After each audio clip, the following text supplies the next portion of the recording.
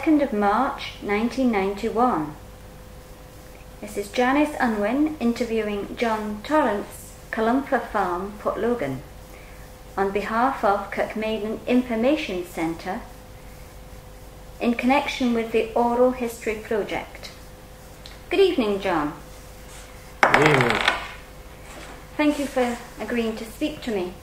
Would you like to tell me when you first came to your house at Killumpha and under what circumstances? Well, Janice, it was about 1942, uh, November, I believe, and in those days, uh, farmers, like farm workers, moved twice a year. In other words, it was a November term or a May term. And I always remember we came here in the November term because it was blowing a ruddy gale and in those days there wasn't a tree about the farmhouse at Killumpha apart from on the east side. And that day we came here, we only moved actually from Ardwell because we had been in Ardwell house, uh, house in the Steading, which is the, now the farmhouse. We'd been there for a year between farms. And that day, as I say, it was blowing a hurricane and mother had a piano which the family tried to play on, but we really abused it. And the poor old thing was nearly blown off the farm trailer because father used the trailers to move us from Ardwell to Killumpha. And I'll never forget that day. Um, and father there and then decided he would plant trees, which he duly did about five, five years later. Very good decision. And, and put in Sitka. But uh, they haven't just quite weathered the storm as well as some of the other varieties should have done. That was in 42, and in the picture, in those days, um, when we came here, um, father decided not to continue the tradition of making cheese because up until then nearly all the farms had made cheese and Killumpha was still making cheese when we came. But he decided then in his wisdom that he would stop cheese making and try and bring in the TT accredited testing to the cows. In other words, to guarantee that the cows were free of TB and to produce a TB free milk for which he would obviously get a premium. So for a couple of years we had reduced stock we came with only 40 cows, which had been more or less past the test as it was termed in those days. So for the next two to three years he built it up.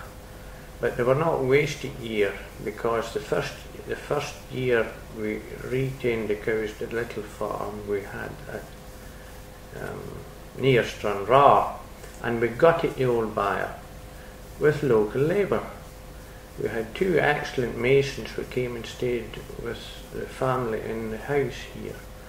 And they laboured continuously for nearly a whole year.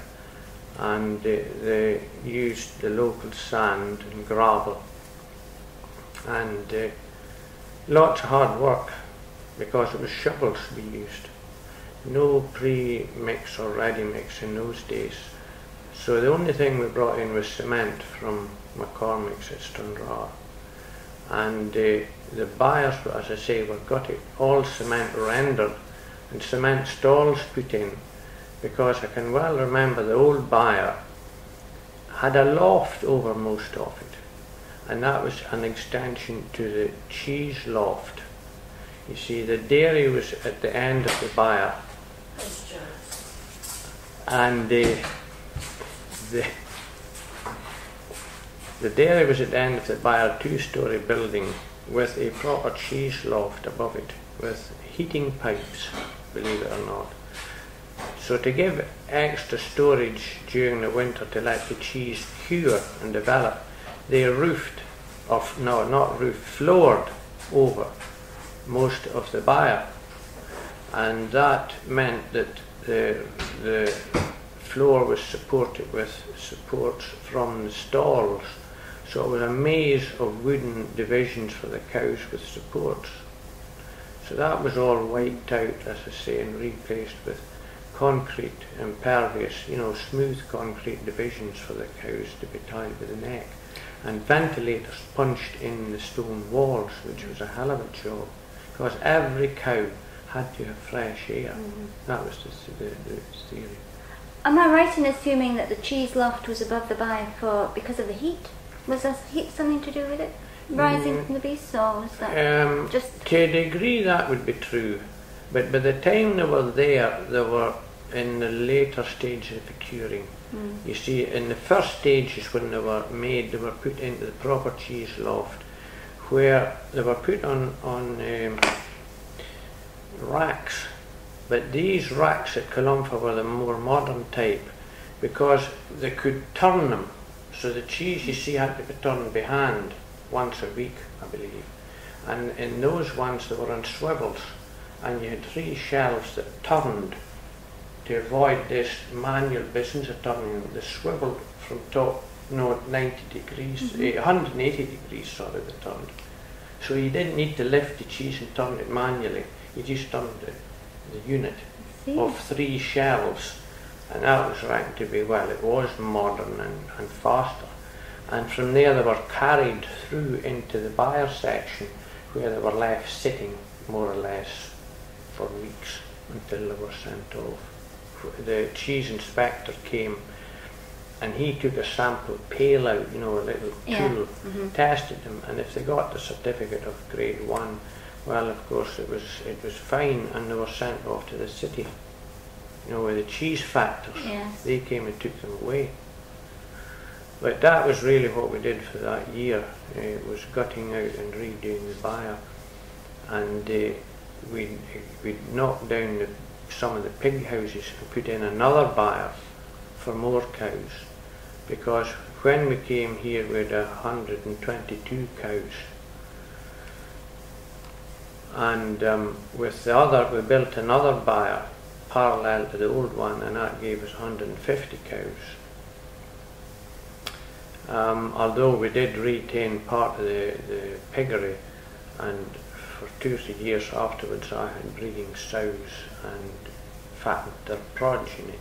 But that was a very small effort compared to the hundreds of pigs I had at one time uh, before we arrived because you see the cheese was made all summer and the byproduct was whey and that whey was fed to the fattening pigs and they simply uh, bought in uh, maize, corn and supplemented whey with their own oats and so on, did a whole mix and boiled the maize up and added bean meal and this sort of thing.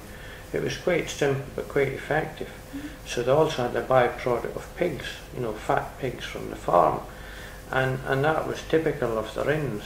And a lot of those pigs were actually killed on the farm and, and uh, slaughtered on the farm and then taken away as a carcass to the town curer. Um, that really was the setup then. We- actually had uh, six cottages and a dairy house and when father came he streamlined the staff but he still had about eight men working and a dairyman and when we were in full flight with a 150 cows tied by the neck and all the dung to barrow away from them and turnips to bring in and uh, straw or hay that was the basic feed. Because they really were housed in the winter in kind of storage condition. You see there wasn't much milk then they- were dry. In other words, the cows were not producing milk in the winter. They were tied in there for protection. So they had a very simple diet. Then when they started to calve in the spring, of course, then they started to get extra feeding in the way of home-produced mix and or cake, which was bought in, you know, compound cake with vitamins and so on for the milk production and we tried to uh, get them calving prior to going to grass because obviously that was the cheapest way to produce milk. And and then there was an incentive given for winter milk so we gradually changed and had them calving earlier. That then meant we couldn't uh, only feed them turnip and straw we had to feed them turnip and hay. And of course a natural de- development was in later years when the milk board wanted even more winter milk, they were calving, instead of calving in, in um, February or January, they started to calve in the autumn. So that meant we could try and provide a better winter feed. So silage came along and that allowed the production of true winter milk. Um, in those days the dairyman had a had a long hour long hours of work. Not quite as bad market as uh, when they made cheese. I'll just tell you a wee brief story. Um, at Killumpha here, apparently before we came, they used to have a harvest home in the granary, and it wasn't a very wide granary, but it was a long granary. And here they were having a great set to this particular autumn night after the harvest was in with it, and they'd taken the lamps out of the byre to light the granary for the festivity. And about three, between three and four in the morning, they were still at it. When the dairyman Johnny Moreland was the dairyman at Killumpha, and he came thumping up the stone steps, knocked and bar- burst the door open and said, "If you bloody folk any any sense when get home, I can when I had to start." And it is there and then lifted the byre lamps and left them in the dark. so that was the end of the can. oh, with a bit of luck, it might have been daylight. it was damp near it, I believe. I only, um, as I say, that typified the hard work the dairyman did Yes. because he was starting. hmm Uh, when when we the dairyman here, he had a family of three boys, and that meant there were four of them working in the dairy, and that was only producing milk. But admittedly, they helped to bring in the turnips from the field you see in the winter, uh, and and and also fed the, the cows with the turnips. But you, you see, in, in those days at Killumpha here, they grew about 50 or 60 acres of turnips or swedes. A few mangles, not, not a lot, they were fed in the spring. And it meant that a lot of folk were dependent on squads. But with us having these three lads, they did a lot of the turnip showing in the field as was required, and being in a relatively frost-free area, we never um, topped and tailed, carted and pitted. We only Yeah. topped, tail and carted to requirement, in Yes. other words, just to Yes. keep them fresh. hmm Well, not daily, but at least pretty often every other day they were t- hauling turnips in from the field to feed to the cows. So that was a steady winter work, that and getting rid of the dung. Um, um, I think that really it, it it was long, arduous hours at the job, and as I say, even with these eight men, we still had recourse to squads. And if I may diverse from it to give you an instance of what the squads did, I mean, it was a round a year job. The, the, the squads were sometimes locally gathered up with a gang master uh, from the local village, and they went round the farms in rotation, helping out at big operations. And you see, here we started to grow early potatoes, although there had been none done before, but our neighbour did them, and a lot of farmers in the, in the Rhins did early potato growing. We came in as one of the last people to do it. Um, father had no opportunity to do it. The previous farmer, when he came here, he was smitten with the bug, as it were, and joined the locals. So we had to, escort to help to plant the tatties. And then they were used to lift the stones whiles in the spring to get the grain in. If it was a late spring, you maybe hadn't enough of your own people to do it in a hurry. So the squad was brought in for two or three days. And then from then they would go on and thin turnips if the, the folks weren't able to get on fast enough it was a growthy spring. The turnips got dirty and they got big, so you had to get help in to get them done before they got too big. Then from there they would progress to digging the early tatties or assisting. Sometimes the local squad dug the tatties and whilst you would get an Irish squad depending on which merchant you were working with. For pretty often the tatty merchant, be it from Glasgow or Cupar or wherever, he would provide a squad. And therefore that's how the Irish squads came in because he would go to Ireland and engage a squad and it would start digging tatties maybe at end of May, beginning of June. They would dig in Wigtownshire and then into Ayrshire and move north uh, and east and would finish digging the main crops in Fife and the Lothians Mm-hmm. and might not get home until to Ireland, back to Ireland till about August, September. So they had quite a few months in Scotland digging tatties all the time, you know. So they, they were sup, supple of the back and whiles quick of the temper, especially they had a drum in them. And from the early tatty digging, you see, you then moved on to the harvesting scene. And pretty often, if it was a rotten harvest, uh, wet weather and stooks had to be turned, then squad was brought in to get the fields cleared. And if you had a small staff, you had no option but get one or two. And you see, that was another thing at Killumpha before we came. Apparently, they always had two or three Irishmen came and they stayed in the farmhouse. And there was a separate staircase, I can remember, at Killumpha, out of our kitchen here. And that was the bothy uh, thingy upstairs, and that held the three Irishmen for the harvest. So it must have been a steady event, you know, for five weeks probably. With this prolonged yes, at times mhm, with the weather. mhm. I'd nearly forgotten about that. Um, The staircase no longer. it here. went up there, Oh, I see, yeah. uh, in there, but it's you know since gone. It was Mhm. altered. And then from the harvesting went the turnip harvest, and that was where there was sometimes help there. And then, of course, in smaller farms, when they were thrashing off the, the cereals in the winter, either to feed the beasts or if they were lucky to sell the, the seed for the grain, sorry, for seed purposes, um, they would need help there at the big mill because some farms had a mill built into the steading, but most depended on a contractor coming with the big mobile thrashing mill. And when it arrived, it was a great event on the farm. It might only be there for one day, it might be there for a week, depending on the size of the farm and the weather again, because it was all obviously outside. So that um, it needed a big number of folk to make it run efficiently. I was thinking the last day it would take about eight people full time when it was Really? there, at least.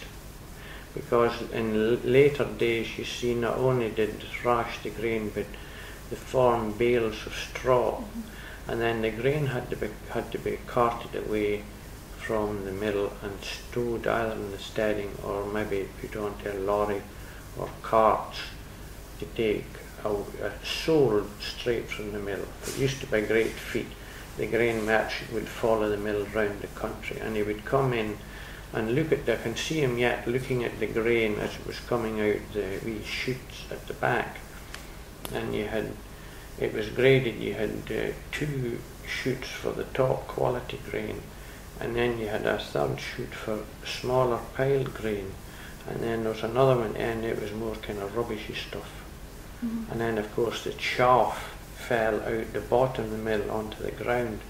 And as a youngster, that was my job, carting this bloody chaff away. What did you do with it? Well, if it was good quality, believe it or not, it was sometimes lifted in a sheet and put in amongst the straw. If it wasn't good, it was carted away and burned there and then. There were a lot of weeds in it, it was burned on the spot. Uh, removed from the steading, obviously, and that was the that was the youngster's job. And of course, if you had to cart it away 20 or 30 yards to be on the proper side of the wind, it could be quite tiring, you know, hauling this away. But I can remember, you know, when they had really good uh, chaff, and it was oats in those days. There was no wheat or no no barley. Oh God, it was all oats, and the best chaff was carefully selected, and a lot of the farm workers made the bed, the mattress, and maybe even a pillow with it, and, and that formed the, pillow, and of course it was lined with uh, the appropriate cloth. What is it you call it? Like, a tick. like a, a tick. ticking, yeah. Ah, that's it. And and it was changed every year. The, the, they threw out the old chaff and put in fresh, fluffy chaff for the winter. That was the, the, the best stuff. I mean, it was only done in a small scale. It had to be the tops. If it wasn't good, it wasn't used, of course. It was just burned or used for bedding cattle, you know. But the great fear there was if it was retained, you see, in the weed seeds. Yeah. And that only, that only extended the, the, The weed, problem the weed For problem. another time. Mm. Mm. Hmm, that's interesting. Well, you've given me quite a lot of detail there, John, about your early memories of Killumpha. Can you tell me now some more personal aspects? I understand you were very keen on the young farmers at one time. Um, well, you see, I was in, I was, um, let me see, 12, 14 when I came, uh, 12 fully when I came here. So all I could think about in those days was getting to bloody school. And that meant going to the Stranraer High. And um, in those days, um, the bus did not come through Killumpha or, or Port Logan. It went up the main road as it, you know, the main Drummore road to Ardwell. Now, in those days of the war, there were a lot of evacuees in the village, plus, of course, there were youngsters from Port Logan village.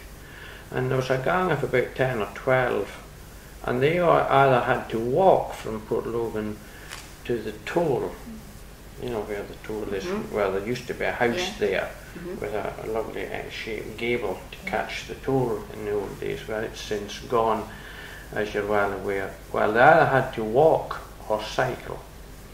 And I didn't go via Port Logan, I went to the trolley side.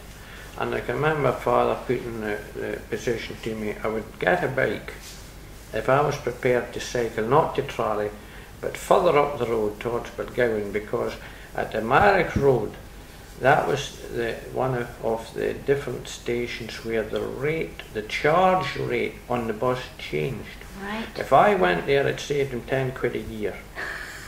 And the bike cost him a fiver. I thought you were still gaining. Yeah, that's it. So I cycled to Myers Road and left the bike there morning and night, yeah. you couldn't do that now. No, well, this is that was the way in those days you had to pay for the bus so much. Yes. You know, it was subsidised, but you still had to pay. Mhm.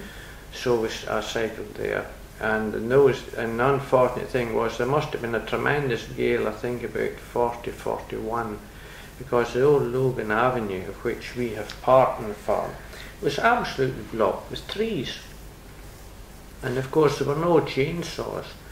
So it took father and the men the best part of two years, for they only did it when they took the notion, Mhm. you know, and had spare time. But they, they did try and set to because it was quite a handy road to move stock, but not You much. You could go from the Bright Cottage to Myrick Road That's it. via the avenue. And it. eventually you could have gone down as far as the Port Logan Road. Aye, that's it to Mrs. Old, what we term old Mrs. McCrae's. Yes, the ruin at the end And old ruin. I think she was the last, must have been the last occupant Yes. in that house, for they still refer to it as Mrs. McCrae. And of course they went by the where the keeper was, uh, Yes. Bradshaw, Yes, on the. Marrick section. I mean, it is still a presentable house today. Yes. it is. So I could, as I say, I couldn't use that avenue because it was blocked with trees. But then thereafter, it was so rutted with the farm tractors and, and carts that I always used the main road. It was longer, but at least you could cycle on it, no bother. But um, oh, we, we used to have set twos. One day I remember going into school in the bus. It was a single decker only in those days, and there was a chap, Glasgow Rob, and he was a, a Drummore uh, McGuffey, and he'd been in Glasgow in his youth. And one of his favourite tricks was freewheeling. I mean, it's highly legal, but in those days that was a height of, of professionalism if you could freewheel anything, save petrol, I suppose. and we're freewheeling down the hills into Stranraer, and there's a wee farm right on the edge of the town, where near Mary is today Yeah. just near it, not Yeah. far off it. And here, Lord, the daring released held the cows in front of the bus. And I, I was amongst those that were getting wanting out early that morning. The next bloody minute, he'd do an emergency stop. And there's about 12 of us got belted into the back of his cabin, nearly broke the glass beside him uh-huh. in this emergency stop with Glasgow Rob doing his free wheeling. He could actually free wheel right into the school.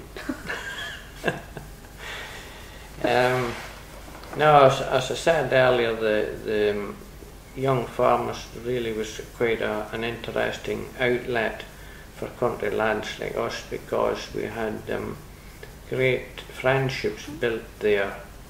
We had uh, socialising, we had competitions, we even had speech making, and it was the most dreaded of the lot. Um, and in that period, we had the break up of the local club into two sections. Originally, it was Stranraer on the Rhins side and Machars on the other side of the water. But um, our neighbours, the McLeans, were instrumental in forming a Southern Rhins club, which meant we had two in this area because in those days we had a lot of young farmers. Um, and um, of course today things have changed and there is no not the population of farmers nor big families.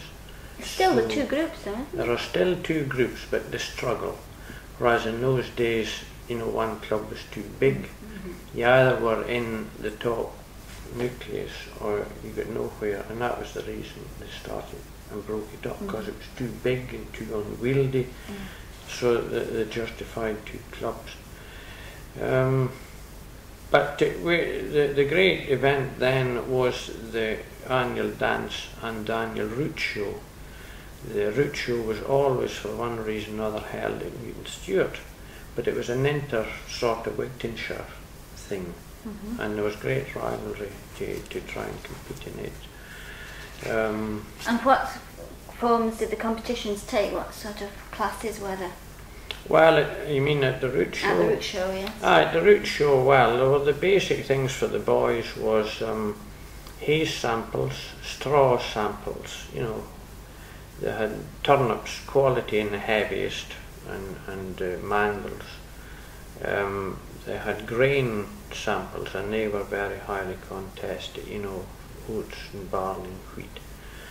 Latterly, of course, silage became the thing, and it was always, I remember, we always had a very strict instruction that the silage was to be retained in polythene bags and no, no occasion whatsoever whether to be opened. Because on one or two occasions they used to put it down behind the radiators and the place suddenly become absolutely stunk and then of course the, the girls they had um, their competitions really on the lines of the rural, mm. to be honest with you. There'd be a copy of the rural, I would say. Yeah. But in their eh, age range rather than, you know, maybe as professional as the as the rural, which was, you know, much more advanced and professional. Mm. But there again, a lot of the girls were pretty knacky, you know. Mm-hmm. And you also mentioned the annual dance. That obviously was something to look forward to. Where was that held? Well, um, it was, and you know, and I think that today we maybe lose something because everybody dressed up the very best. A real ball. A real ball, quite honestly, it was. The, they had, of course, let's face it, we had jigs during the summer. Any time was an excuse for a, a, a, a wee co- a country dance. But at the Christmas period, there was a real ball. Aye, and uh, uh, So that would be real evening was- evening dress for the yes, aye, of kilts for those that were? Very nice. that way inclined. And funny enough, it was held in the old King's Arms, which And where was the old King's Arms Hotel? Well, the old King's Arms was in Stranraer on Castle Street at the bottom end where the modern Woolworths building is. And it was an immense, to my eyes in those days, it really wouldn't, but I, I, we thought it was an immense hotel, in size that is. And um, it was used by everybody because although it was a big hotel, we hadn't got five star or four or three star ratings in those days. Um, it had a good public bar, but of course, when we went there, it was for annual ball, that was the main thing, and it was quite a dressy affair for us youngsters, um, you know, with formal dress for that occasion. The boys uh, either had a, a very good lounge suit or some even had dicky bows and kilts. And of course the girls tended to all have long dresses in those days. None of your miniskirts for that occasion. even even they never appeared at the village hops, much to our dismay. and what form would the music be on this? Well, um, it was generally a local band. There were very rarely did we get external bands, and there certainly were no um, money available in our organisation, Young Farmers, to pay for such a thing. So they were really all local musicians with the usual drum, fiddles, and piano. There were accordions, of course.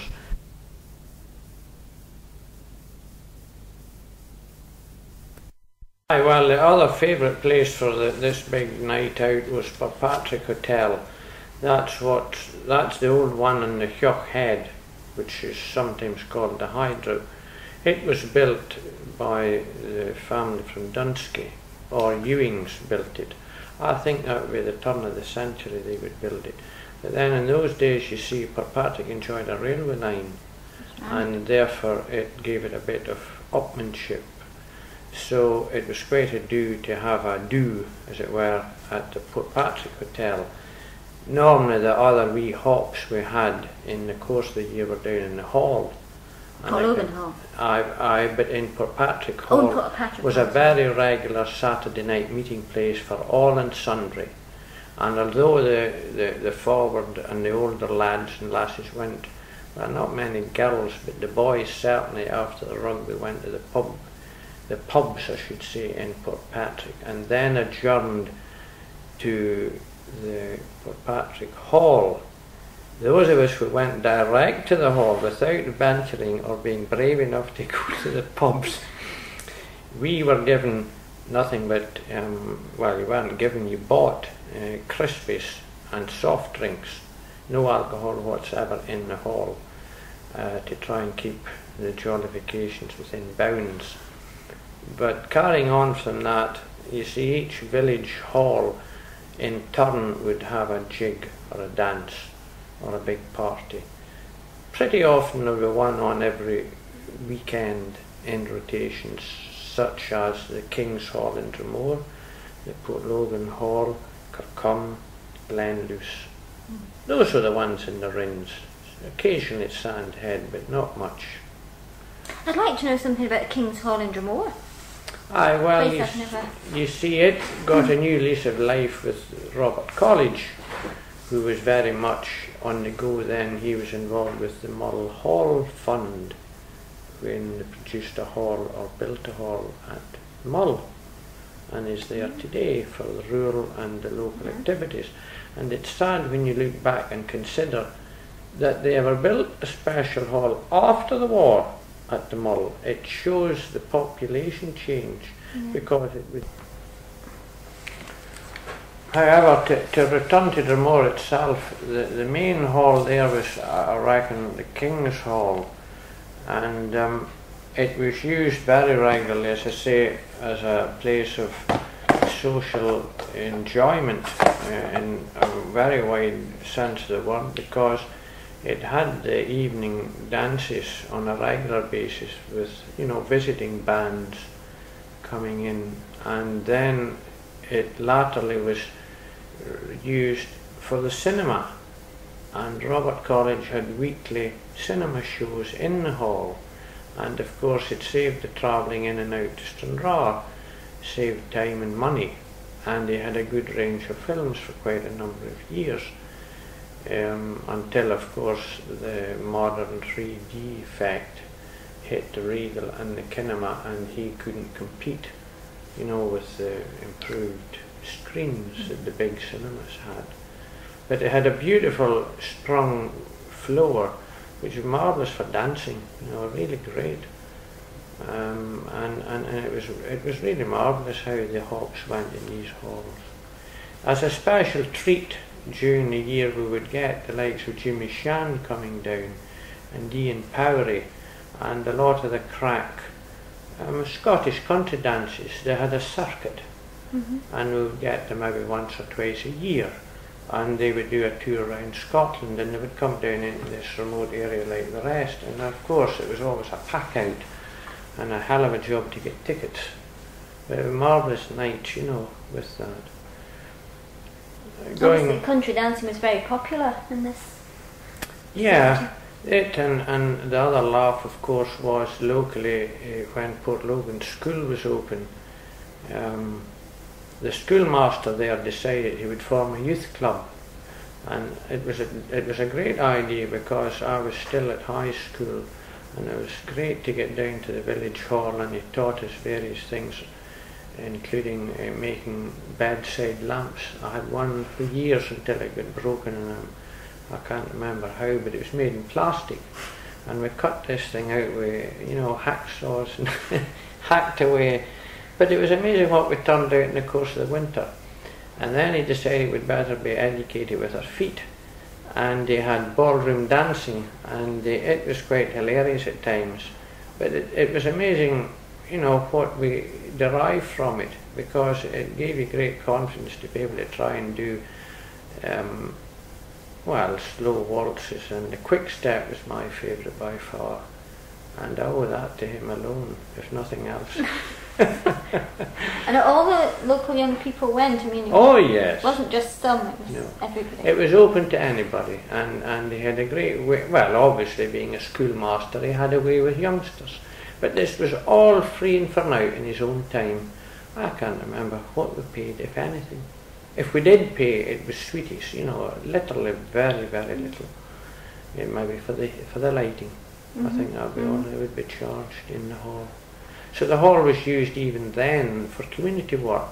You know, one tends to think today, oh, community is something new, but it really isn't. Uh, the spirit was even there, and of course, um, people would never have dreamt of going away to Ayr to listen to a pop concert or that. You know, you heard them on the radio, and that was it. You were, that was all you could get, unless there were the odd occasion to Glasgow, and you know, a bus would run up, and tickets would be provided before you left, so you could actually be sure of a seat. But these were very rare. Um, going back to the young farmers for a minute, um, we mentioned about the competition at the annual root shows and what have you. The other thing I think I mentioned briefly was in the speech making, and it was the thing that was worst attended. And the only way they used to trap us into it was to have surprise nights, and you didn't know what the topic would be, but gradually you discovered if it was a surprise night, it was a bloody speech meeting. or it was held at the AGM, and there was always a better competition to be in committee. So you were, if you were ambitious at all, you were trapped there. But in fairness, it was a good training ground because when we had our annual um, gathering of young farmers, it could be at Oban or Perth or Glasgow or Edinburgh, it always toured round the country as it does today. It gave you great confidence to be able to partake in even the smallest way at a conference. And of course, it eventually led to those that wished to go into NFU. Uh, that's the only sort of politics that was available. A few farmers have become MPs, not many, but a few, and have, have acquitted themselves pretty well. And it's largely through the young farmers and NFU that they've been able to do this, a progression, in other words. What the NFU does at local level is really carried through with representatives going to Edinburgh um, on a regular basis to represent the views of the local members on various aspects of the day, whether it's BSE or the levy on grain or the position of potato quotas or the ideas on milk quota such like political hot potatoes are debated at Edinburgh. and the real work is done in what's termed commodity committees. In other words, a committee dealing solely with potatoes, one with cereals, uh, one with livestock, etc. And then three or four times in a year they have a general council where everybody that is uh, going to the hierarchy attend Edinburgh and normally there are about 100 members in that office uh, holding capacity at Edinburgh for a general debate uh, and thrust and parry on the different viewpoints and what the national policy will be on various topics. In the old days, you see, it was a case of going to Westminster and meeting with the English colleagues and then meeting with the, with the Ministry of Agriculture. The Scottish lot always went down to join the English and Welsh counterparts to meet with the Ministry of Agriculture because there was determined the rate of subsidy that we would get for that period. And believe you me, after the war there was a lot of subsidy because the whole emphasis was more and more and more food. That was the prime aim. It wasn't a case of environment or anything else. It was mm. unheard of. It was just to get more and more and more food. And therefore, to encourage this, um, there were subsidies. And there were subsidies not only to produce food, but subsidies to improve buildings, to get more livestock in buildings. Because during the war there had been virtually no building done whatsoever. Everything was under uh, licensing, and of course the only people that got licenses were for emergencies, hospitals and roads dealing with the military. If it was civilian, unless it was a fire or such like uh, bombing, you didn't get a building license. So this was to speed up the depredation of about seven years of war conditions. But falling on from that, um, the arguments at Westminster may, maybe were heated in those days because nobody ever gets their own way and they never ever get enough. But today the argument is to be taken to Brussels and that's why in Scotland we are proud of the fact that we have a voice directly into Brussels right through to the CAP the Common Agricultural Policy, where the Scottish voice is heard independent of the English voice. Generally they are in accord, but the special conditions of Scotland are spoken out separately. So much so even this last year we have had special grants for the Highlands and Islands and part of Galloway is included in this special group 4 whereby we have special um, monies available for the rural area, not necessarily farming, but it's the rural benefit, whether you're starting a small business or not. That is the main aim, is to try and improve the rural background. Mm. So we're very proud of that through the works there. So much so that an Englishman, Lord Plumb, became the first UK President of the European Parliament and he was entirely an NFU rep. And he was the first Englishman to be president of the European Parliament, which is no small feat. Anyhow, I've maybe done enough bumming in that respect. What else would you like to know? right. Um, maybe we could just uh, talk a little more then about Portlogan itself and um, you said you because you were at school in Stranraer it meant it was a good excuse to mix with the local people when you had dances and so on. And what other activities went on in Port Portlogan, in Portlogan Hall? Well, the hall was really the home of the Rural Institute, and they would be the most regular users from what I recollect. And I can well remember the rural party was always a highlight. Um, especially the one near the, the back end of the year, you know, the near Christmas period. And there was always plenty to eat and plenty to laugh about, and they always had a. It was a fun night. There was dancing and there was singing, and uh, one of the local worthers, Percy Carpenter, who stayed at Mull Hill for many, many years and worked to the late James McIntyre at Logan Mains. Percy was a, a natural singer, and I can still remember him. If ever there was a lull in a party and there was need of entertainment, Percy would be so easily coaxed onto the platform to sing Bonnie Strathyre. and then we had the likes of worthies like Lily McGuffert who could stand up and recite nae bother at all on various topics, whether it was Burns or whether it was a Couthie Scotch poem, Lily had no qualms whatsoever, um, much to everybody's amazement. Um, Even into her latter years, she could still she do that. could, yes. It was something that uh, was inherent in the woman. Must have been. It must have been. Going back to Port Logan again, I can remember in early days her brother, or me, Tommy uh, McConnell, used to put the cows down the road sides. He only had about 10 or 12 cows in those days. Where But did it he come from? At Mulldaddy, Oh, up at there, Mulldaddy. Yes. But in those days, you see, there was no intensification, and his herd was about, off memory, it wouldn't be 20. I'm sure in early days when we came, it was about 12 cows. Anyhow, the point was, Tommy to extend his farm, put them down the roadsides to graze the grass in and around Port Logan. and uh, the foreshore, Yeah. uh, he grazed all it. He was really, a, he, you know, he herded them.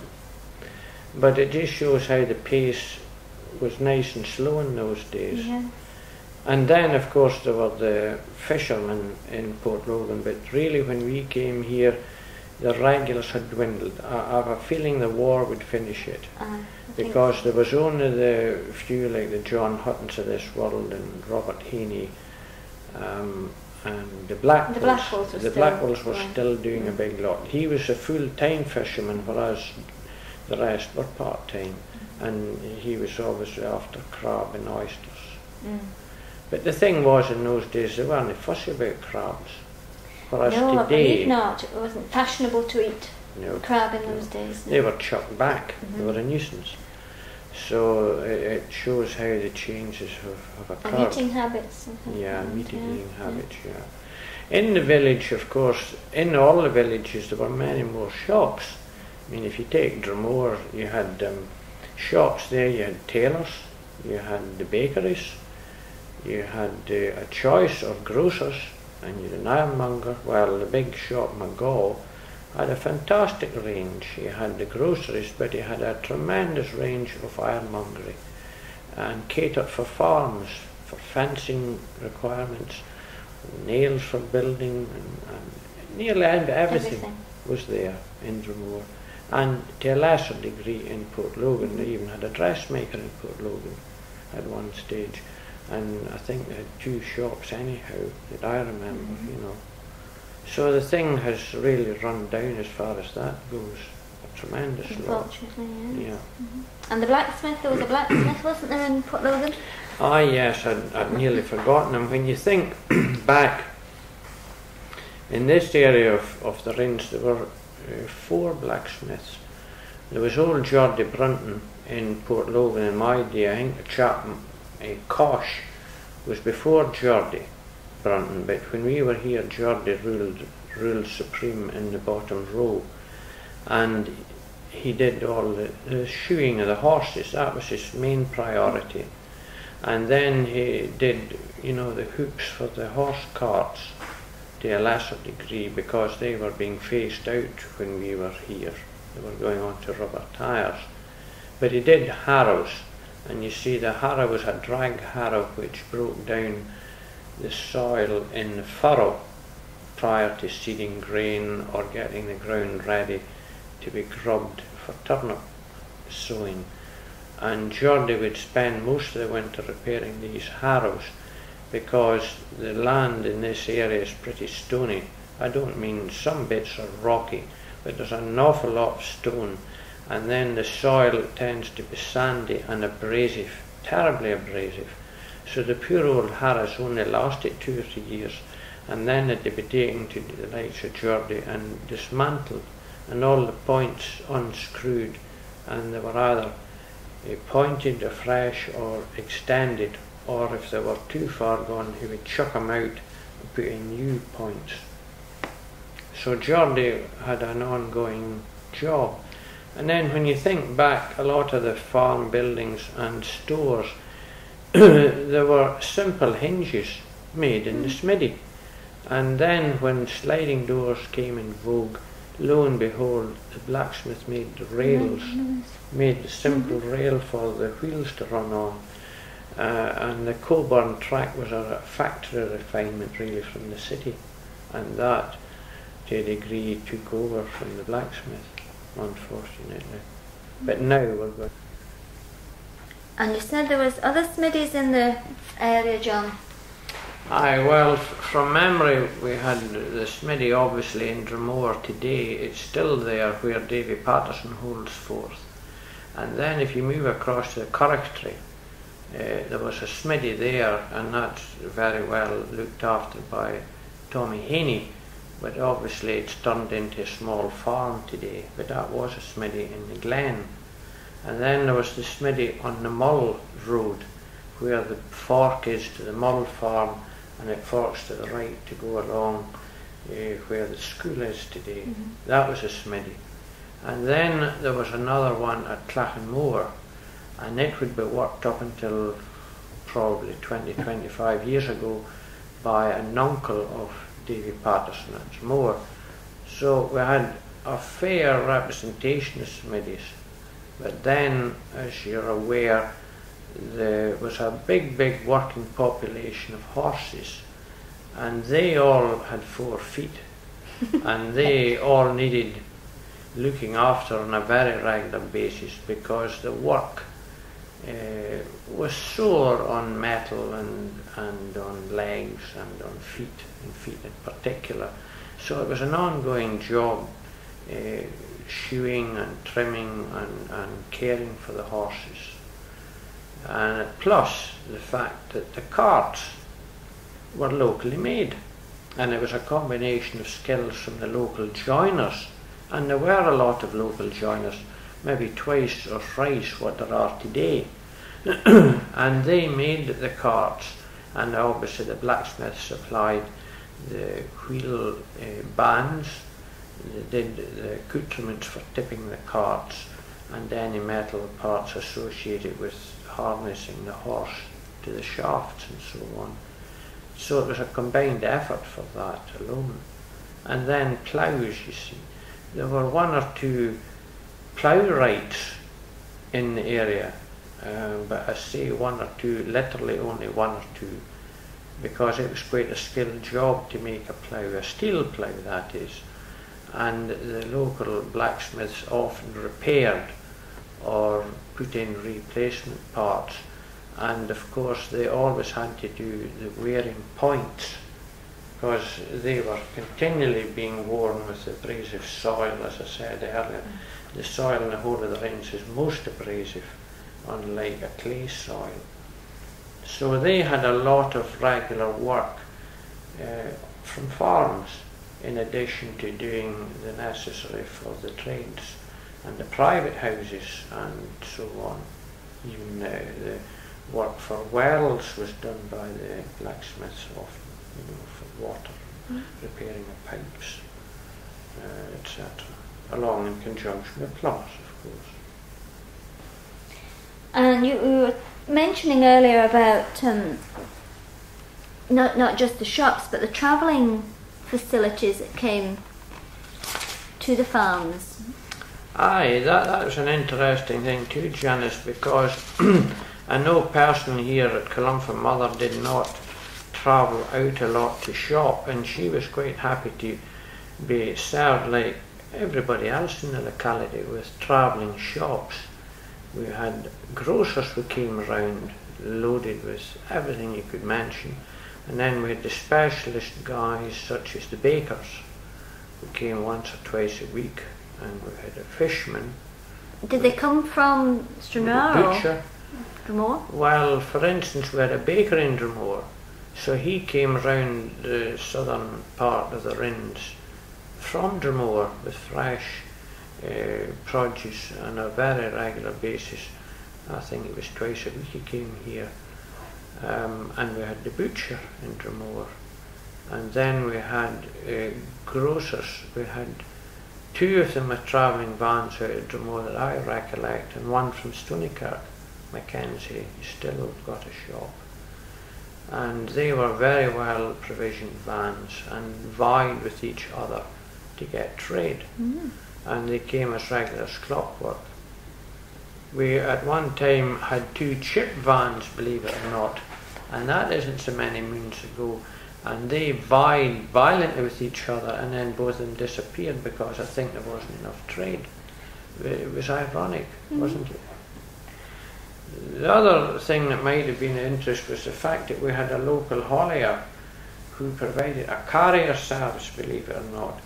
And each day Ronald Crawford from Port Logan had this little lorry and he would provide a daily service to take things into Stranraer. He would take it to the bus station or take it to the railway station because the railway station in those days was a valuable source of communication. Uh, there were not obviously the lorries and certainly no, not the long distance lorries. And when you consider the maximum speed of a heavy lorry was 20 miles an hour and the lighter lorries they were allowed to do 30 you realise the advantage the train had because Mhm. it wasn't tied down to that speed and therefore it could bring Was that a legal requirement, 20? very Was it? was indeed Mm. Uh, I mean uh, it's unbelievable but that's true and those were not articulated lorries no.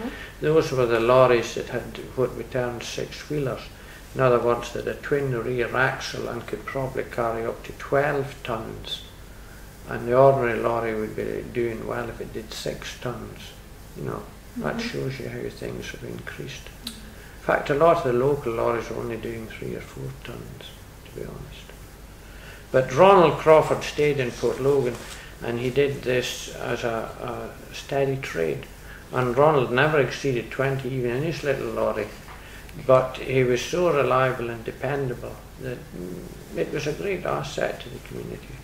And where did he keep his lorry? He had a little shed at the end of the bottom row from memory and uh, it often was a Bedford lorry he had. Um, I think there is the remains of a building there yet. yeah, there is a bit left of it. Um, and it would be his brother or connections, the same Crawford had the shop in Drummore, which Aidy has today. Do you know anything about the weighbridge at Port Logan? No, I'm afraid I don't really. Mhm. And, the, and the weighbridge was there when we came, but off memory, I can't remember it being used much. Whereas the one in Drummore, I remember it being used, and we used to get, you know, run down and get special uh, reason it would be weighed at Drummore. And where is it? Well, in those days it was down near the middle, but it's long since gone as well. And nowadays, as you know, Stranraer or Culmore is the nearest. Uh-huh. And were lorries run out of Drummore? Colliers? Aye, in, in the old days, well, there was Scott was still there. He's the only remaining chap. But there was Scott, there was McHaffey, and he had two or three lorries, and there was MacDonald. They only had one. But these three firms all hauled milk, and that was their stable support. Because after the demise of the local creameries um, into Stranraer, the milk had to be carted off all the farms to Stranraer, and that meant that there was a tremendous haulage, especially in the summer months when there was a tremendous milk to haul, and it was all done in churns, or as we locals called them, cans. And they varied from 10 gallons, 12, 15, and up to 20. Most of them worked in 12s and 15s. The big 20s were ugly brutes and needed a hoist. I was going to say, how did you get them on the lorry? Yeah, they, they needed hoists and they really were only used to send milk to Glasgow because at one stage in the 30s a lot of milk was sent fresh to the city on rail but they had to be taken in biggest churns. Whereas the, the local for handiness there were 10s and 12s up to 15 occasionally and uh, they were taken by lorries. Some farmers actually hauled their own with a cart or a tractor or even a car. Quite a lot of farmers had big car trailers. And the board, the milk board that is in those days, paid very well if you hold your own milk. I, I, I can't recollect what it was per gallon, but I remember father said it was the best spent hour in the morning was hauling the milk to the. Mm. So, you know, it's, it just highlights how things have changed. And there was tremendous acrimony when the board decided that they would put in bulk milk tanks, farmers rather had to put in bulk milk tanks. And then there was a fight between the hauliers as to who was to get the bulk milk tank because obviously they, they were not going to need anything like the same number of bulk uh, tankers which you know could hold two or three thousand gallons mm. compared to a flat lorry with a few with a, a fair number of churns but obviously not taking anything like that quantity and there was a lot of ill feeling because there was a cut back in lorry numbers and in many cases especially in the more the lorry, the lorry traders that did not get the bulk lorry folded up. Mm. There was not enough local trade. You see, in those days, they carted milk in the morning, threw the cans off in a yard It's at Stranraer, and then haul feeding stuff from the grain merchants in Stranraer out to the farms during the rest of the day, picked their cans up about four or five in the afternoon and went home with them. They Ready were washed, the they were washed, time. you see, generally at the creamery, and delivered them in the morning and got the full ones on, which meant the farmer had to have two lots of churns. That was the way it worked. But then it fitted in in those days because in Stranraer there were three main grain merchants.